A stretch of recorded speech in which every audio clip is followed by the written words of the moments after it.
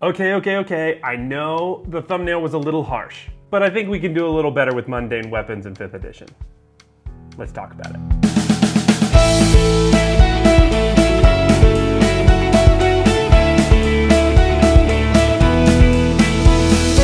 Welcome back to the channel, everybody. My name is Garmin. This, of course, is the Storycraft Society, and this week I have been thinking a lot about mundane weapons in 5th edition. Now, this is going to be a video a la Dale Kingsmill, where I'm kind of throwing a lot of thoughts out at y'all, and I would love to hear your responses back. Am I way off base here? Am I really onto something? So bear with me. I really do think that the video does end up going somewhere uh, pretty awesome. So the first thing that I have to say is that mundane weapons in 5th edition really don't get the star treatment. I would actually go so far as to say they get, well, they're just boring. I wish that I didn't feel that way, but certainly I do. Now there's a couple of special items that are really nice, like the trident or the net that get some cool special abilities. Tridents being able to be used in water easier, or nets that can be used to trap somebody. But for the most part, most of the items are what damage die does it do? That's what it does. Maybe a couple of restrictions here and there, but that really sucks. I, I mean, just plain and simple, I, I guess I do agree with the thumbnail in that regard, and I can think of a few reasons why, right? Number one, I'm going to talk about my role players at the table, right? The role players, when you give them the difference between a short sword and a scimitar, let's use that as an example, right? There's no benefit to one over the other. The only difference is the scimitar is more expensive. So the role player can certainly add their own flavor to it and they can get their juice out of it. They want to act and they want to describe what their character is doing when they swing their weapons and why they would choose a scimitar over a short sword. But that's unfair to them because they're working hard to role play and make the experience better for everybody. And unfortunately, the weapons in the player's handbook just don't give a lot of cool flavor for players to expand on or newer role players, right? That, that aren't super comfortable making something out of nothing, right? Number two, power gamers get nothing out of this weapon system. The mundane weapons in the player's handbook for a power gamer basically come down to numbers. And is that fine, sure, and I'm sure there's some power gamers out there that really enjoy that, but the power gamers at my table end up saying things like, why would you take the scimitar instead of the short sword? You're just going to pay more money for it and it does the same thing. The third and final reason, and I think maybe the worst reason, is that there is a mechanic that is built into the monster manual and into the mechanics of 5th edition that certain monsters are scary solely because they have resistance to or are immune to non-magical piercing, bludgeoning, and slashing damage. So, if you give them a whole bunch of magic items early, and I'm talking third, fourth, fifth level, ghosts and Lycans all become a lot less scary. And I would like them to stay scary a little bit longer. I do want to bring up another two issues that I think the crappy mundane weapons cause when I've been playing more games. So one of them is that PCs get gold. They want to go to a city or a village or whatever and spend that gold. And then when they go to look at the magic item shop, they see that the weapons are 10,000, 20,000 gold, and that's just a, a, cost that they don't have. And then they always get disappointed. Obviously, that's what you want to reach towards. That's the thing that you would like to get eventually. But can't we find a way to make our players happy spending their gold in towns, you know, for stuff in the player's handbook or maybe a little better than what's in the player's handbook, right? Another issue that is just an obvious one, and I'm not gonna go into it because it's just so obvious, is power creep. You give your level four players each a magic weapon, that makes that party a lot more strong. Not just a little bit more strong, it makes them a lot more strong. So with all that said, uh, hopefully you're still with me. Let's start talking about what my solutions are that will help to fix this problem and I think will allow all the DMs out there to get really creative with the mundane items that they either give or allow their players to buy.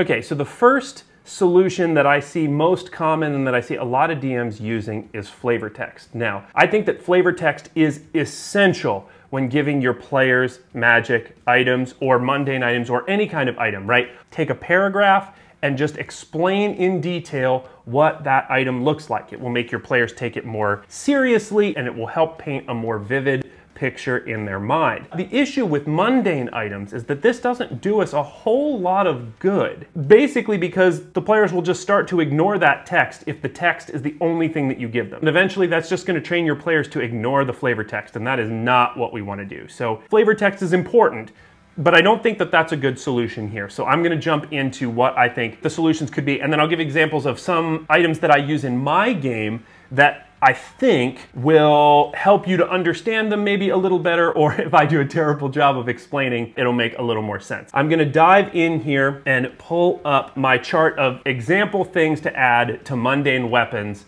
in fifth edition. And actually, uh, it's worth me saying you could also add this to armor, you could add this to, to, to, anything if you wanted to. So this chart I separated into benefits and effects. For example, the first benefit is better crafted mundane weapons. So this is actually a pretty common idea. I think it'll be easy to understand, but that if you have a mundane weapon, a non-magical weapon, you could easily add a plus one to attack and damage rolls because it was crafted by a better weaponsmith than just a sword crafted at a blacksmith in some village or something like that, right? Plus one to attack and damage rolls, but no magical benefit. So going up against a ghost or a Lycan, it's not going to change the fight from it just being a regular player's handbook weapon. And now your players feel like they've got something a little better. And you could take that up to plus one, plus two, plus three if you really wanted to. This is just a master crafted weapon by one of the best non-magical smiths in the whole world. And that keeps that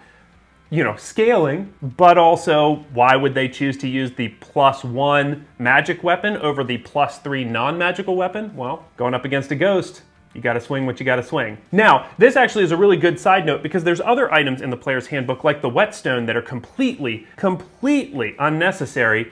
I have players that role play with them and flavor that they buy a whetstone so that they can sharpen their sword, but that really doesn't do anything. You could take this and use that, you know, to the player's advantage. If they take part of a long rest or short rest to use a whetstone on their weapon, they can add for 10 hours or 8 hours or 24 hours if you're really nice, a plus one to that weapon just because they're making it sharper and then over time it'll dull back to a regular weapon. That's a neat way that you can use some of the other items. I might do a video on that as well. Mundane items in the player's handbook to make them a little bit more useful and flavorful as well. But let's go to the next one. So the next one is tangible and mechanical, that's really important, role-playing flavor. The effect would be it adds a role-playing ability to a weapon based on cultural significance, some kind of special quirk to the weapon or something like that. So for example, I have a stiletto that I allow players to take in my game. Now that's a martial weapon and it only does a D3 of damage, but the benefit that it has is that anytime you make a dexterity sleight of hand check to hide that weapon, you have advantage on the roll. Does that change this mundane item? Does it blow my game apart? No, but it does give a very good reason why a rogue character would choose to have a stiletto over a regular dagger. Another example is maybe one of my favorite examples ever, and this is something that I actually took out of the Warlock Grimoire here, but it's silk-backed coin mail. And uh, I'm not gonna go into a huge long thing about this, but I'm gonna jump over to my map real quick.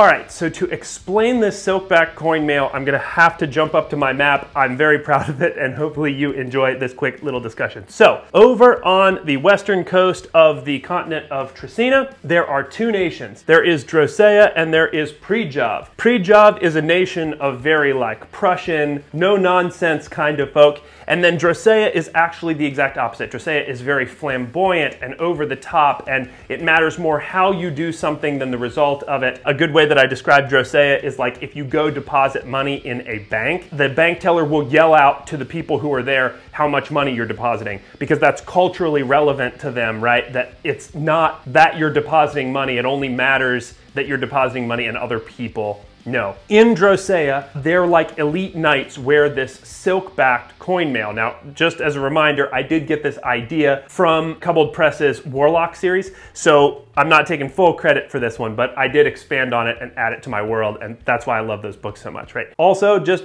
quick plug, if these books are all interesting to you, I have a video where I review them I did this a couple of months ago. Go check it out. In Drosea, uh, the elite knights wear this silk-backed coin mail, which is literally uh, Drosean silk underneath coin mail over top that jingles like crazy when you wear it. And the Droseans love it because it's very showy and over the top. And when two fighters are fighting and they're wearing silk-back coin mail, it makes this cool jingling sound through the whole fight. They love it. Well, the Prajavi people to the north hate it. I think this is another really cool use of giving something tangible and mechanical role-playing flavor. The Silkback coin mail gives you a plus two bonus to all status when dealing with Droseans.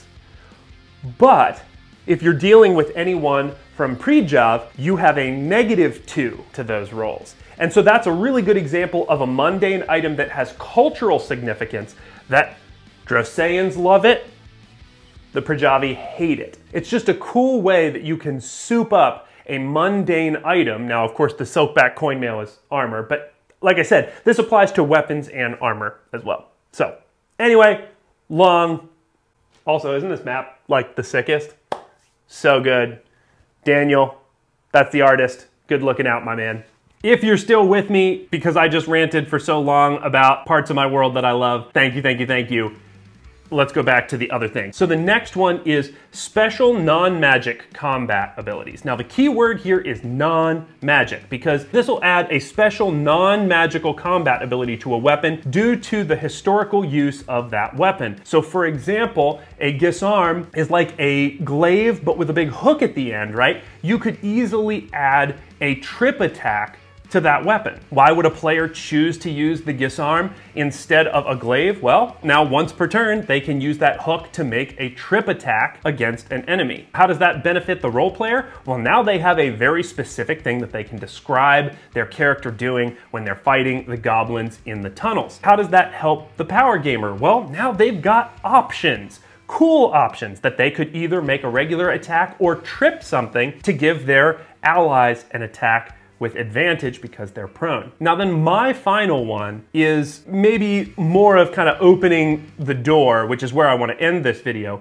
but that it could be part of a set. Now we have sets of magical items, but there could easily be sets of non-magical items that the more a character is decked out in this particular set, the more they have some kind of sway over cultures or that sort of thing, very similar to the silkback coin mail did. That's where the door opens, I think, where I kind of end this video with an open question. This is what I've been thinking about.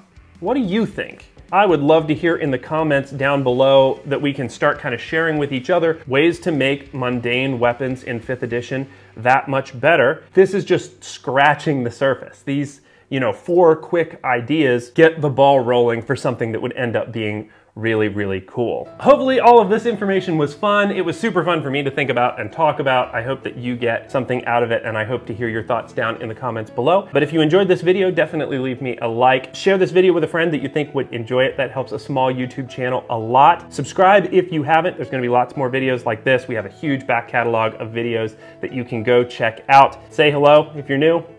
I would love to meet each and every one of you in person, but digitally is just as good. Well, almost as good. But with that said, that's all I have for this week. Until next week, I'll be seeing you.